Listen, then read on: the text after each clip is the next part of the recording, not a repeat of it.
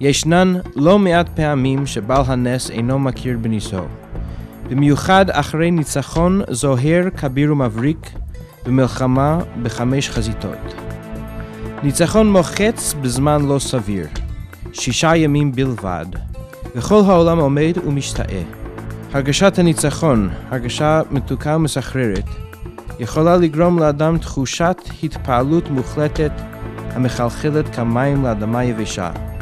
לכל המנהיגים, אנשי הצבא והממשלה עד לאזרח הקטן, ישראל ניצחה, וניצחון כזה שרק מילה אחת יכולה להתאים לו, נס.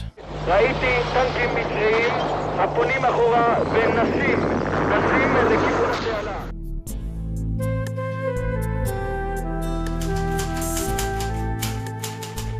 שמי גרשום ג'ייקובסון, כתב ביידיש אלגמיינר ג'ורנל ובידיעות אחרונות.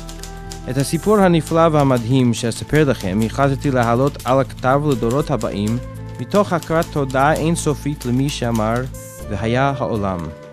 ומתוך הכרה בנס העצום שזכיתי לו אחרי שלוש מתנות שקיבלתי מנשיא הדור.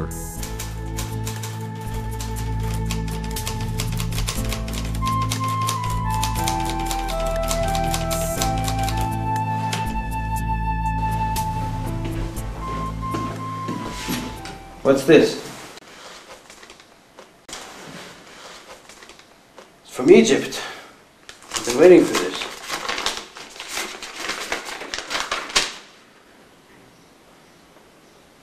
They accepted it.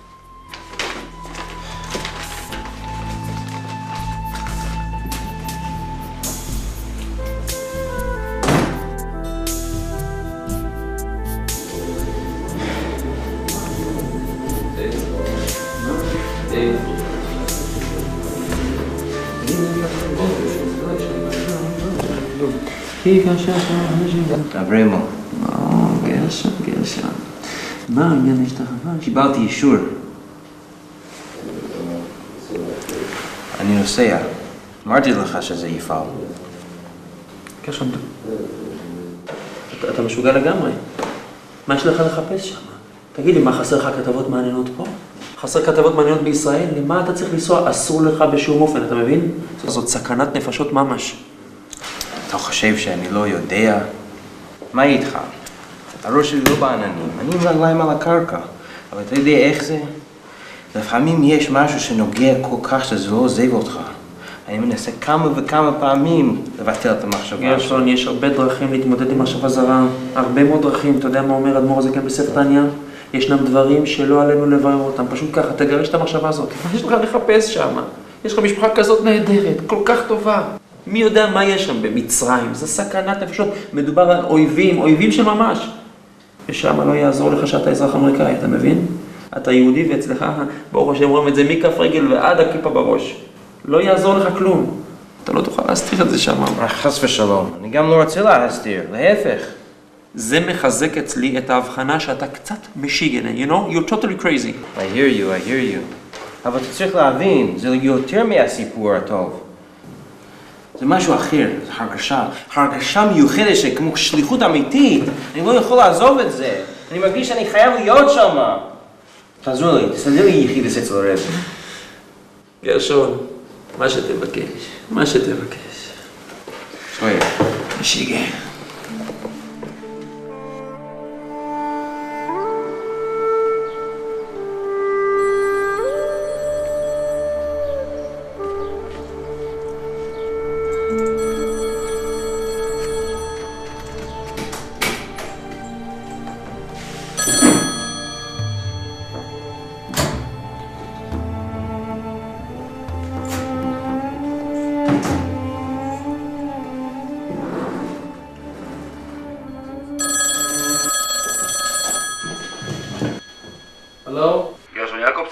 כן, מי זה?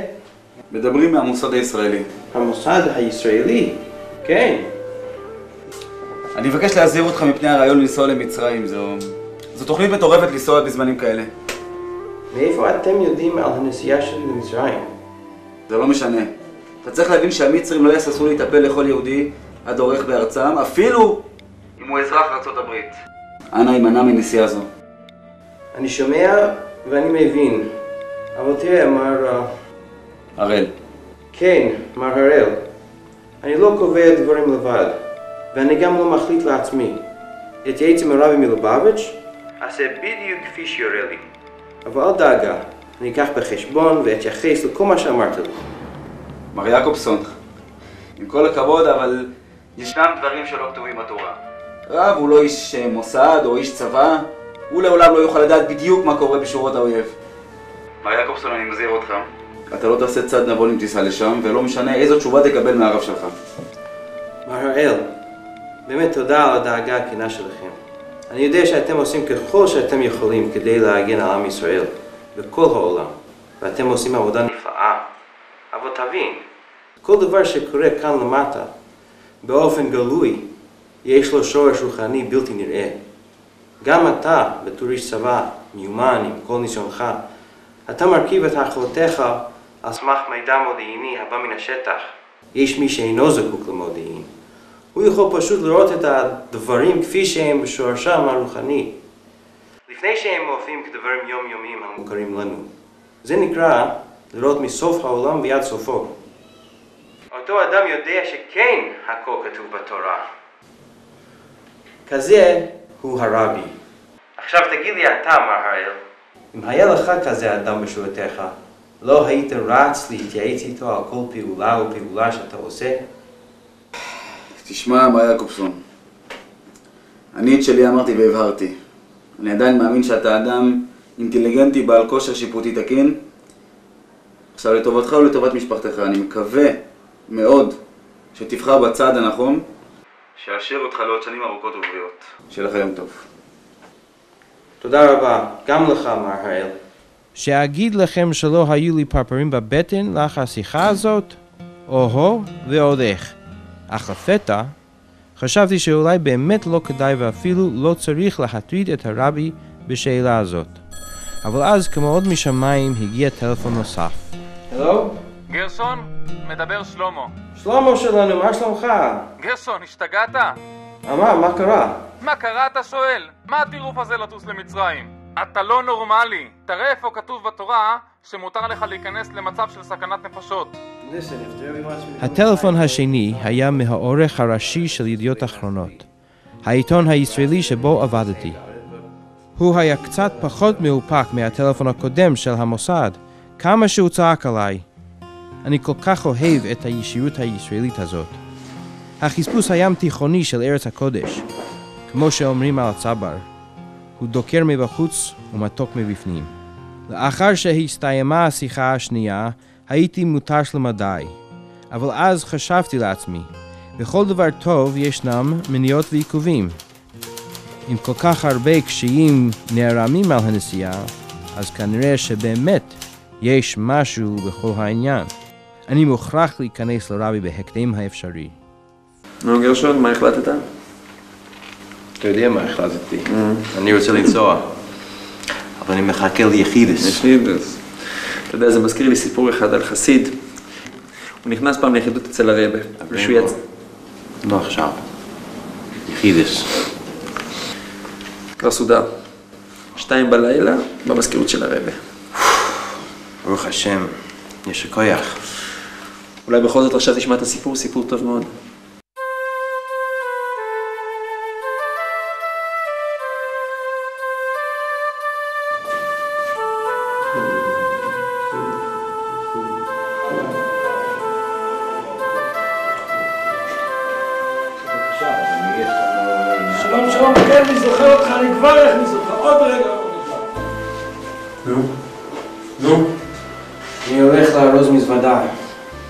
צוחק עליי? הרבי אישר לך? לנסוע למצרים? אברנו, אתה תמיד היית החבר הכי טוב שלי. אני צריך ממך כמה דברים. תבקש מה שאתה רוצה. קודם כל צריך להכין רשימה של כל החברים שלי בעולם. דבר שני, את כל השמות של השגרירים הזרים בקהיר. רשימה. ותברר לי את השם של המלון היוקרתי ביותר בקהיר. בשביל מה אתה צריך רשימה? לא חשוב. מה- הרבי אמר לך? אני קיבלתי ברכה. באמת? אבל לומר עוד משהו? חכה בסבלנות ואני אספר לך הכל. קשר זה מזכיר לי סיפור. מספרים על חסיד אחד שנכנס לרבי. כמה שעות לפני ההגעה לשדה התעופה, נכנסתי לפי בקשתו של הרבי לחדרו הקדוש. הרבי מסר לי על ידי מזכירו זוג תפילין וסכין שחיטה. או, רב גרשון, שלום עליכם. זה חבילה תמסור לקהילה היהודית בקהיר. למי? יש לך הוראות מפורשות מהרבי בפנים, הכל בסדר, אל דאגה. בשורות טובות, נסיעה טובה, ברכה והצלחה. אמן. ההוראות היו ברורות. סכין השחיטה מיועדת לשוחט של הקהילה היהודית בקהיר, והתפילין לרב הראשי. הרבי בירך אותי בצאתכם לשלום.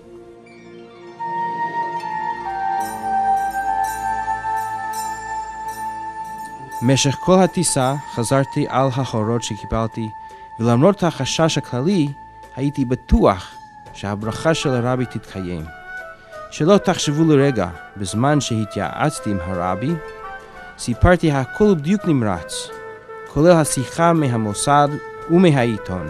ועם כל זאת, להפתעתי הרבה, אמר לי הרבי שאני יכול לנסוע, בתנאי שמלא את ההוראות הברורות שנתן לי.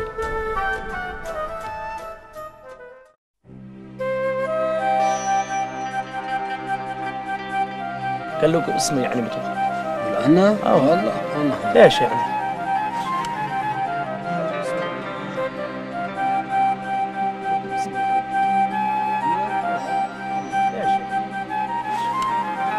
جالي هو تعال يلا يمشي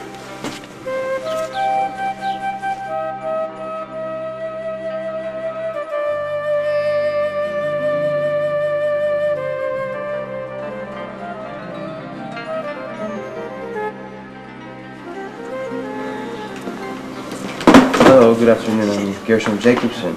Ah, Jacobson.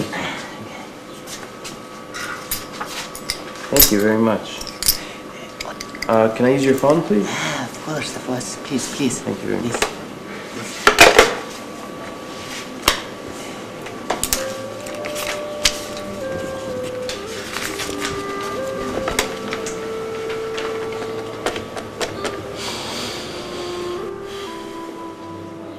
Yes, this is Gershom Jacobson speaking from the Algemeiner Journal in New York.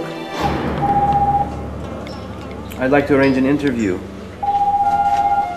I'm staying in the Hilton Cairo. Tomorrow morning will be fine. Have a nice day.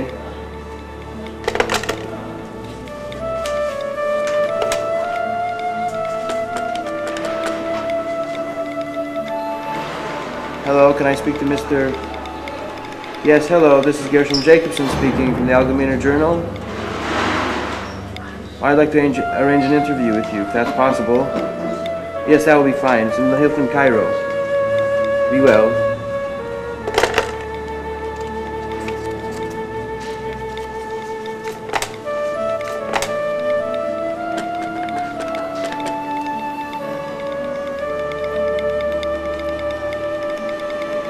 Yes, uh, Gershom Jacobson in the Hilton Cairo.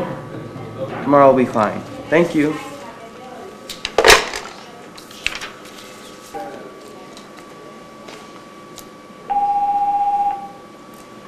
Excuse me, Yes. can I have some postcards, please? Ah, postcards. But yes, yes.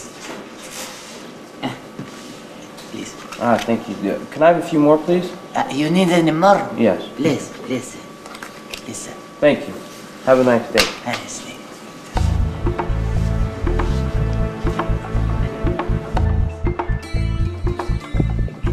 I can't help you, sir.